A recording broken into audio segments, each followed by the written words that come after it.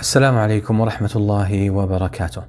This is a short reflection on Surah Al Qadr. Since we are in the last 10 nights of Ramadan, actually, today is the 26th, so the upcoming night is the 27th.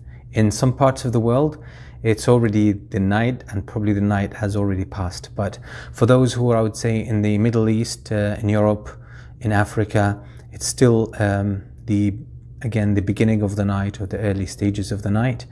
And in north america it's still uh, daytime. So that's an opportunity. Again uh, the night of the 27th according to jumhur the jumhur which is almost we can say the majority loosely we can say the majority of the muslim scholars that the 27th night is laylatul qadr is actually the most likely that's going to be laylatul qadr. So it's important to pay attention to this uh, night so surah al-qadr and I'm trying to reflect on it as, on a on a personal level. I want to find a personal connection between myself here and uh, Surah Al-Qadr. So I tried to reflect on uh, on the verses of this surah uh, from that perspective. So first, Allah Subhanahu wa Taala. First thing that really caught my attention as I was seeing because again it's it's a, a, heavily present topic now. Everyone is talking about Laylatul Qadr.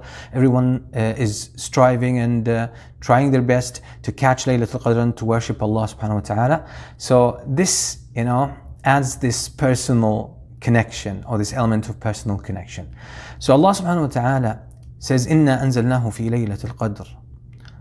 Allah talks about the Quran. We sent it down. Allah didn't even mention the Quran. He just mentioned the pronoun uh, which is the ha letter here in the Arabic language, which is translated as it, because it's known that we are talking about the Quran.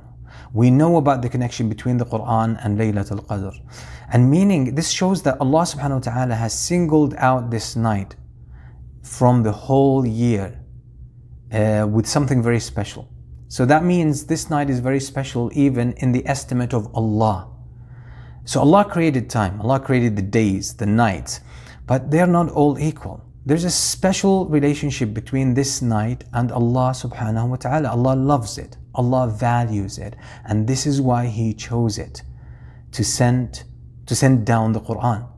So that means this is something that Allah loves. This is a night. This is a time that Allah loves. And you know, we don't understand time, or we understand a very basic concept of time, we humans. Um, but again, time has a lot of mysteries. But what we can take from that is that there is something so special about this night with Allah subhanahu wa ta'ala.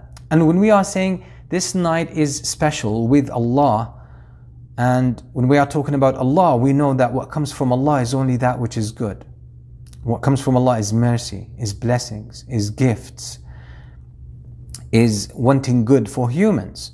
So if this night is special with Allah, and Allah chose His best gift, the timing for His best gift to be during this night. This shows a this is a tremendous night. And we need to value or appreciate the value of this very special night. And when Allah values something, Allah doesn't value things randomly, by the way. Allah values things according to His wisdom. So there is something so special that Allah placed in this night. And um, again, we should try to find this. We try. We should try to sense it within ourselves that there is something so special. If we can't, at least let's even you know in our minds mindfully just keep that in mind. So إنا أنزلناه في ليلة القدر وما أدراك ما ليلة القدر. This is an Arabic expression which is basically to show glorification, to highlight the importance, the extreme importance of something. وما أدراك ما ليلة القدر. Allah mentions it twice. ليلة القدر خير من ألف شهر. The night of Qadr is better than a thousand nights. Allah didn't say it's uh, than a thousand months. Allah didn't say it's equal, but Allah said it's better than a thousand months. And that's an open close. It, how, you know, according to which number? So what is exactly the value of, of this? We, we tend to follow the you know the level of the bottom line. Well, the bottom line is better than a thousand uh, year, uh, thousand months, which is about 83 years plus. But actually, it could be much more than that, much more than that. And just speaking about you know proper language use and eloquence, uh, yeah, proper the proper use of language here. You know, to say it's a thousand, it's better than a thousand months or a thousand and a hundred months. No, that's not, it's not even like linguistically or in terms of balagha, eloquence, it's not really a good style. So that shows when Allah says better than a thousand months that you know there is tremendous value in this night. And just looking at the linguistic root of that, qadr, the word qadr means importance, means honor, means status, means privilege. And that shows hey, this night is of high importance and status with Allah subhanahu wa ta'ala. And here we need to take a connection to another verse in the Quran where Allah says about Laylatul Qadr, فِيهَا يُفْرَقُ كُلُّ أَمْرٍ حَكِيمٍ uh, That in that night, every wise matter, and every matter from Allah, every decree, every wise decree is issued uh, and decided and finalized. And every decree from Allah subhanahu wa ta'ala is wise. So we know from the hadith of the Prophet ﷺ then that uh, uh, during the night of Al-Qadr, the Qadr for the subsequent year is all brought down, finalized and brought down to the nearest heaven. Um, and subhanAllah, you, Allah not only sent down the Quran during the night of Al-Qadr, but He also sent His Qadr, Qadr, which is His decree during that night. And this reminds us of a verse in Surah Al-A'raf where Allah says, ألا له الخلق والأمر To Allah belong the creation and the revelation. The creation here has to do with Al-Qadr because Allah writes things and He creates them. So He decides them, decrees them, and then He creates them. This is the, the world, this is the life that we live. This is the reality, reality as we deal with it. Um, and there is also the revelation, al-amr, the command of Allah subhanahu wa ta'ala, His guidance, His, His legislation.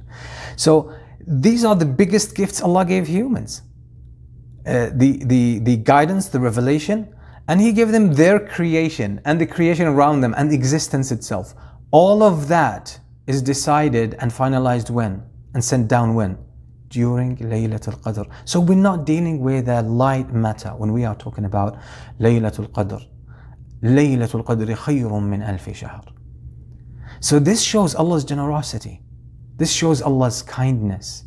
This shows the blessings that Allah subhanahu wa ta'ala bestows upon His creation. And that means, you know, this just points us to the importance of this night that we should not miss out on it no matter what. You can't afford to do that. And in the hadith, the Prophet ﷺ says about Laylatul Qadr, Man hurima khayraha faqad hurim.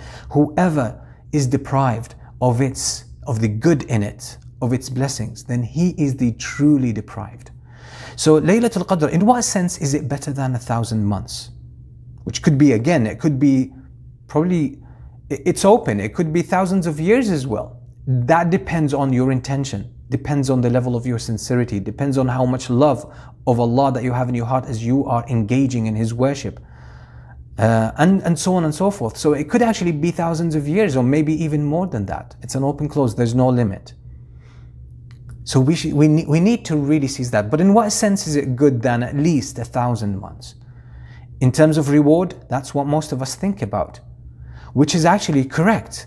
But that's not, we should not limit it only to that because Allah did not place a limit on the meaning of uh, the worth of Laylatul Qadr that is better than a thousand months. In what sense?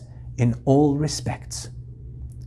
And that shows because you know when you do uh, engage in good in good things uh, in in um, acts of worship when you engage in anything that is pleasing to Allah that Allah subhanahu wa ta'ala loves what you are doing is that you are actually transforming your heart. So um, acts of obedience acts of sin they have an impact on your heart obedience and good things are actually good for your heart and they cultivate it, they purify it, they improve it, improve it and enhance it. Sin is detrimental. Sin is a wound, is an injury, is a contamination to your heart. It's destructive, it's a destructive force. So when you engage in good, only during this night, I mean, I'm not meaning only, but let's say we're just talking about this night specifically, when the good that you engage in during this night, is worth a thousand months, is worth 80 plus years. And that means even the impact on your heart is like exponential. And this is why a lot of personal change really happens in Ramadan. And that means if what I, and this is what I would advise everyone, and this is to me at least seems to be the most personal thing, is that you know you should seize this night if you want to really improve yourself. And the best place to start improving or changing yourself to the better is your heart. And what is the deepest thing in your heart? The central thing in your heart is the love of Allah and the, the level of sincerity you have uh, towards Allah subhanahu wa ta'ala. So what I would say if you work on that, on the love of Allah, contemplate how much you love Allah and that you want to live your life in love of Allah subhanahu wa ta'ala. That you want to live this life to please Allah subhanahu wa ta'ala and make your way back to Him. That you want to live close to Allah eternally in paradise. And that's what you're going to dedicate your life to. That's what you're going to use your life for. If you really contemplate that and drill it down into your system during this night, I'm sure it's the impact on your heart, on your soul, on your nafs is going to be doubled more than a thousand. Again, the same kind, the same by the same ratio that the night of Al Qadr presents. And don't forget, this is a night where Allah has given His most precious blessings. Actually, all the blessings, because when you're talking about the most precious blessing is the revelation, the guidance from Allah subhanahu wa ta'ala, and that is the, the gift that is most indicative of Allah's mercy. But most people don't appreciate that. They don't see the connection. Because the most precious things humans have or have been given is to know their Lord, to know the path to their Lord, and also to be inspired to seek that path and take the path that leads to Allah subhanahu wa ta'ala. And then the second gift is actually everything else. It's the creation. All of that was is in is in what? Laylatul Qadr. Laylatul Qadr. So Laylatul Qadr is special. There is it is a special time for Allah subhanahu wa ta'ala. And this is why He made it special for us and He opened this secret. He He He disclosed this secret to us so that we utilize it. So I really encourage you to seize it uh, and uh, don't waste any any time when it comes to this night. Uh, ask Allah subhanahu wa ta'ala sincerely to help you catch it and utilize it. And um, hopefully, inshallah, it will be a new beginning for, for yourself, uh, a new beginning that would set you on the path that leads to Allah subhanahu wa ta'ala, that is full of love of Allah and also fear of Allah's punishment. And this kind of yearning to meet Allah subhanahu wa ta'ala and make it safely to Him. So I just wanted to share these uh, reflections with you and hope you will find them beneficial and hopefully they, they, would at least inspire you to really seize this night and benefit from it. And don't forget, uh, I'm, I'm, I'm, uh, I'm, I'm, recording this again uh, during the 22nd, 26th uh, day here in, uh, in North America. So we still have the 27th night, we have the 20, uh, 29th night, we still have the 28th night, and maybe the 30th night. So uh, do all you can, be sincere, and ask Allah subhanahu wa ta'ala for the best. Jazakumullah khairan wa Salamu Alaykum wa rahmatullah.